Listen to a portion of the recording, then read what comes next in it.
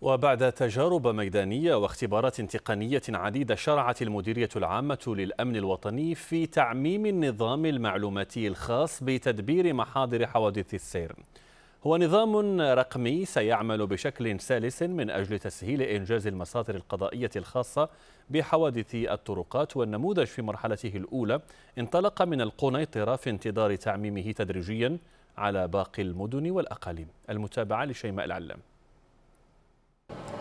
حضرت عناصر الشرطة إلى حي ولادوجي بمدينة القنيطرة من أجل معاينة حادثة سير وقعت بين سيارتين خفيفتين.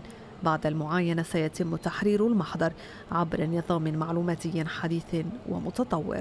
أحد الأطراف تصاب أضرار بدنية نقل للمستشفى متن سيارة الإسعاف آه، قمنا بإجراءات المعاينة بأخذ القياسات وكذلك صور ورسم بياني.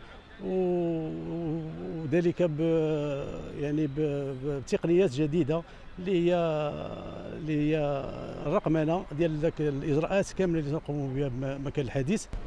إجراء يبدأ انطلاقا من تضمين هويات الأطراف والمركبات بشكل آلي بالاعتماد على قواعد المعطيات التعريفية الخاصة بالجيل الجديد من البطاقة الوطنية للتعريف الإلكترونية وكذا قاعدة معطيات المركبات التي توفرها نارسا.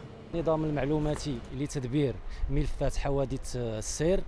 يندرج آه، في إطار استراتيجية التحول الرقمي الذي تنخرط فيه المديريه العامه للأمن الوطني باعتبارها آه، مرفق خدماتي عمومي بامتياز.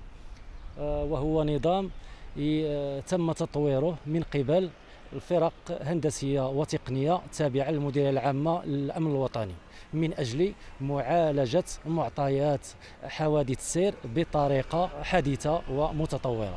ورش رقمي يدخل في إطار استراتيجية التحول الرقمي الذي تنخرط فيه المديرية العامة للأمن الوطني باعتبارها مرفقا خدماتيا بامتياز. سيتم تعميمه تدريجيا على الصعيد الوطني.